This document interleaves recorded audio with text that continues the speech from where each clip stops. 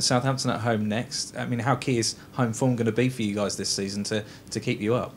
Yeah, it's got to be. I think um, games like Saturday, we've really got to go for it, being at home. Um, I think we always do, to be fair, at home, but it, it really is important now that we our own form's really, really on point. So hopefully, uh, if we get get something on the board on Saturday, then that's another step in the right direction. And now that you've shown you've gone toe to toe with you know some of the best in the Premier League, the, the confidence is there to, to go and do it for the next few games before the next international break. Definitely, and it's going back to that belief thing that you, you said before.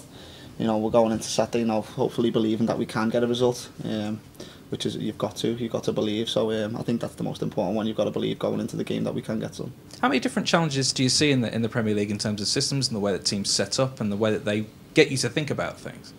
It is. It's loads. Obviously, in, in the in the Premier League, there's a lot of different foreign managers and things like that. So they bring in different styles of play and uh, more than the Championship. So there's a lot of different things to look at. Um, you know, it's just one you've got to take in your stride and you've got to overcome. Have you come up against a 4-2-2-2 before?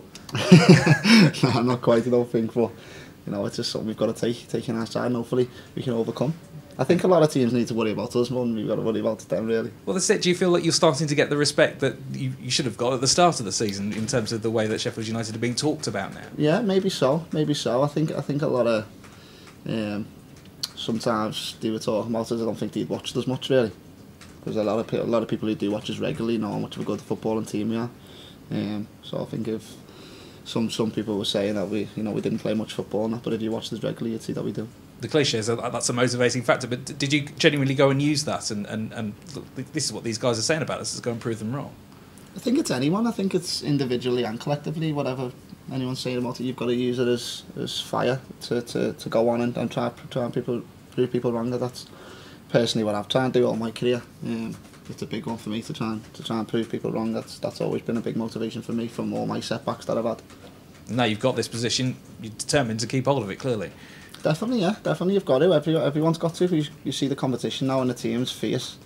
Um, there's lads on your heels now, so um, hopefully, if I get the nod Saturday, I can go on and kick on and try and keep my place for the further.